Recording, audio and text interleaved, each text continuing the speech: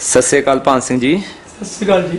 सरदार जी ये बताइए कि गुरु नानक देव जी ने कहा कि मिठी नीवी नानका गुण चंगाइया तत्व तो जब हम इसको प्रैक्टिकल इस्तेमाल करते हैं ना तो मैं अपनी एक कमी बता रहा हूँ। मेरे में एक बहुत बड़ा वीकनेस है कि मैं गुस्सा हो जाता हूँ। कभी कोई गलत करता हूँ तो गुरु नानक की जो बात है, वो कभी कभी मुझे लगता है कि यार, इसके ऊपर मैं अप्लाई नहीं कर रहा। ये मेरी क्यों कमज़ोरी है? मैं उसके ऊपर क्यों नहीं चल रहा? इतनी अच्छी बात कही है कि चाहे दूसरे वाला जितना मर्ज़ी गुस्सा हो, इंसान को खुद गुस्से वाला नहीं होना चाहिए, मीठा ही बनना चाहिए।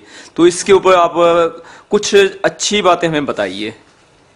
आपको अगर किसी ने ऐसी बात कह दी जो आपको अच्छी नहीं लगी आप उसको आगे से ऐसा जवाब मत दो जो उसको भी अच्छी ना लगे। बिल्कुल। कोशिश कीजिए बिल्कुल जी बिल्कुल। कि उसको आप बर्दाश्त कीजिए। बिल्कुल। नहीं कभी कभी ऐसा होता है कि जैसे किसी ने कोई काम गलत कर दिया नंबर एक पे। नंबर दो पे उसने मेरे दिल के ऊपर कोई चुभने वाली बात ऐसी कह दी कि गलती उसकी थी और चुभने वाली बात उसने कह दी। तो जो गुरु नानक देव जी की जो बात चल रही है कि मिठी नीवी नान का कि तब भी हमें मीठा बोलना है। इसमें है जी मिठी नीवी मिठते नीवी नानका हाँ। गुण चंगियाइयाँ तत्व हाँ। है जी?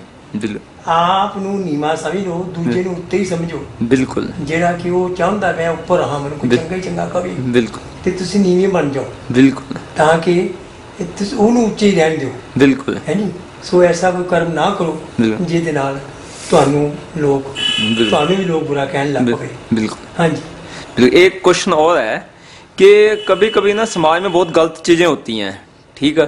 तो उसको सुधारने के लिए अपने दोस्त के साथ किसी पॉइंट पे गुस्सा होना पड़ता है। यार नहीं यार तू तो ये, ये गलत काम कर रहा है। ठीक है ऐसा नहीं करना चाहिए। इससे तो वो मतलब कि हम हमारा अपने ऊपर कंट्रोल नहीं रहता कभी कभी उसको अगर आप जैसे एक सिंपल सी बात है अभी मेरा एक दोस्त है बहुत अच्छा दोस्त है वो।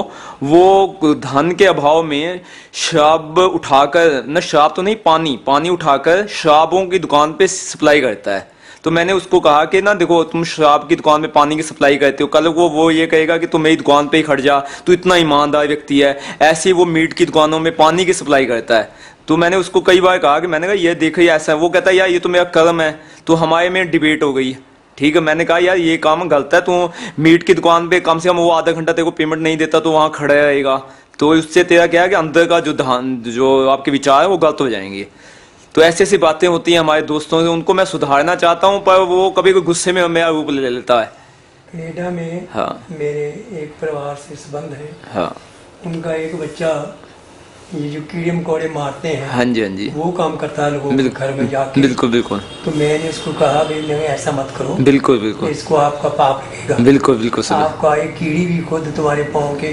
अनजाने में आ जाती है। बिल्कुल। कोई बात नहीं। अगर जान के उसको मार देते हो उसको पाप लगेगा। पाप पाप लगेगा जी। तो इस करके उसको बताओ भाई नहीं ये तुम वहाँ ये काम छोड़ दो। बिल्कुल बिल्कुल बिल्कुल। हाँ।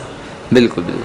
अच्छा इसके अलावा आप अपने एक्सपीरियंस से बताइए कि अगर हम सिर्फ़ अपनी एक छोटी सी ज़ुबान के ऊपर कंट्रोल कर लें छोटी सी कहते हैं कि इसमें हड्डी नहीं होती है पर ये इतनी खतरनाक है कि जितने भी रिलेशन तोड़ने में इसका बहुत बड़ा योगदान है। तो इस छोटी सी ज़ुबान को कैसे आपने कंट्रोल किया? ये थोड़ा कुछ आप, आपके मैंने कम से कम ना हो छः सात सालों से मैं आपको जानता हूँ। और आपके जो शब्द है ना, वो काफ़ी तुले हुए होते हैं।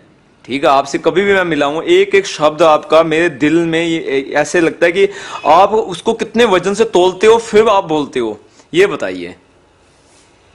गुरु ने जो बात पूरे गुरु ग्रंथ साहब में सारे गुरु ग्रंथ साहब की जो गुरबाणी है एक से लेकर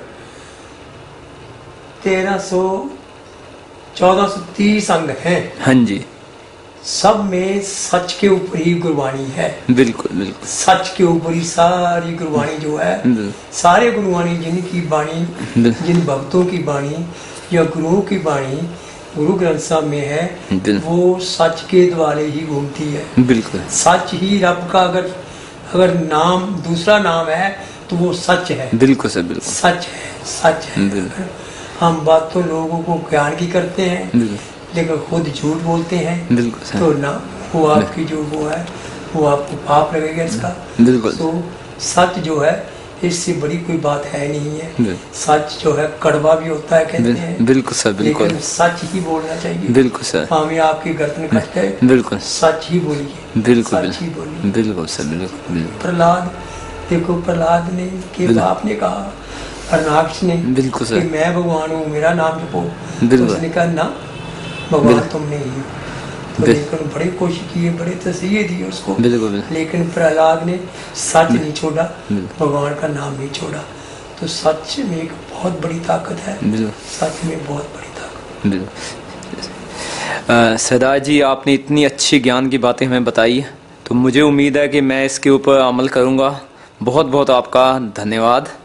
थैंक्स आप में आप में जो ने मैं मैंने आप मुझे अच्छा कह रहे हो। नहीं, नहीं। मैं आपसे मैंने भी आपसे बहुत कुछ नहीं नहीं आपने मुझे नहीं आपके पास एक बहुत बड़े एक दौलत है उसको वो आप जो इतना मीठा बोलते हो ना तो ये मेरे को सीखने सीखना पड़ेगा आपसे तो आप भी मेरे बहुत बड़े गुरु हो ठीक है उसके लिए मैं आपके लिए हमेशा नतमस्तक रहूँगा बहुत बहुत धन्यवाद।